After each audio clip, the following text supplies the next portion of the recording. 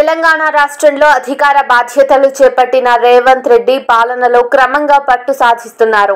ప్రభుత్వం కార్యక్రమాలను పరుగులు పెట్టించే ప్రయత్నం చేస్తూనే రాష్ట్రానికి పెట్టుబడుల విషయంలో అప్రమత్తంగా వ్యవహరిస్తున్నారు. ఈ క్రమంలో రాష్ట్రంలో మరిన్ని పెట్టుబడుల లక్ష్యంగా వివిధ కంపెనీలకు చెందిన ప్రముఖులు వరుసగా సీఎంతో భేటీ అవుతున్నారు. ఈ పరిణామంపై కాంగ్రెస్ బీఆర్ఎస్ మధ్య పొలిటికల్ డైలాగులు పేలుతున్నాయి. అధికార మార్పిడి సమయంలో తెలంగాణకు ఐటీ రంగంలో కేటీఆర్ను రీప్లేస్ చేసే వారెవరూ లేరని కేటీఆర్ మంత్రిగా లేకపోవడంతో ఇక ఐటీ రంగంతో పాటు రాష్ట్రానికి పెట్టుబడులు తగ్గిపోతాయని బీఆర్ఎస్ నేతలు వ్యాఖ్యలు చేశారు. ఇక ఎన్నికల ప్రచారం సందర్భంగా కాంగ్రెస్ అధికారంలోకి వస్తే పరిశ్రమలు తరలిపోతాయని సోషల్ మీడియాలో పెద్ద ఎత్తున అనుమానాలు రేకెత్తించారు. అయితే సీన్ కట్ చేస్తే తాజాగా రాష్ట్రంలో పెట్టుబడులు పెట్టేందుకు పలు సంస్థలు ఆసక్తి చూపిస్తున్నాయి. ఈ మేరకు సంస్థల ప్రతినిధుల బృందాలు సీఎంతో భేటీ అవుతూ పెట్టుబడులు ఇన్వెస్ట్మెంట్ పై తమ అభిప్రాయాలను వ్యక్తం చేస్తున్నాయి.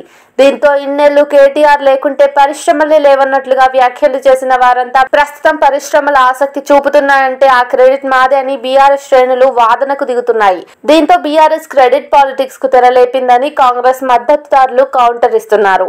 రాష్ట్రంలో కాంగ్రెస్ ప్రభుత్వం కొలువుదీన నేపథ్యంలో పెట్టుబడులపై బీఆర్ఎస్ నేతలు విమర్శలు చేయగా రాజకీయ వర్గాలతో పాటు సామాన్యుల వరకు ఐటీ మినిస్టర్ ఎవరు అంటూ క్యూరియాసిటీ చూపించారు.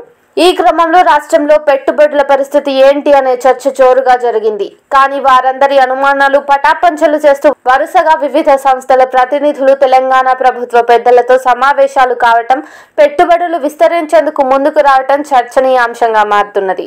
తెలంగాణలో పెట్టుబడులకు గూగుల్ సంసిద్ధత వ్యక్తం చేసింది. ఈ మేరకు గూగుల్ వైస్ ప్రెసిడెంట్ తోట చంద్రశేఖర్ సీఎంతో భేటీ అయ్యారు. Micron CEO Sanjay Mehrotra Amazon ప్రతినిధులు గోద్రేజ్ అగ్రోవెంట్ కంపెనీ ప్రతినిధులు Coca Cola beverage Welspun Adani group Amara Raja group Foxconn తదితర సంస్థల ప్రతినిధులు సీఎంతో భేటీ అయ్యారు.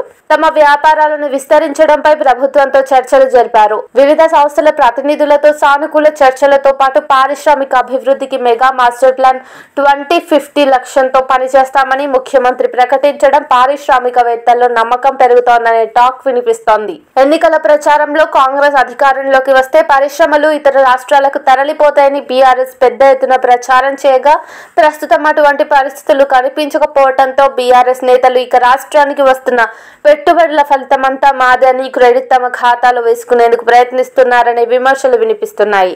దీనితో పాటు ఈ నెల పదిహేను నుంచి పద్దెనిమిది మధ్య స్విట్జర్లాండ్లోని దావోస్ వేదికగా జరిగే వరల్డ్ ఎకనామిక్ ఫోరం వార్షిక సదస్సుకు సీఎంతో పాటు ఓ బృందం విదేశీ పర్యటనకు వెళ్ళనుండటం ఇంట్రెస్టింగ్గా మారుతుంది.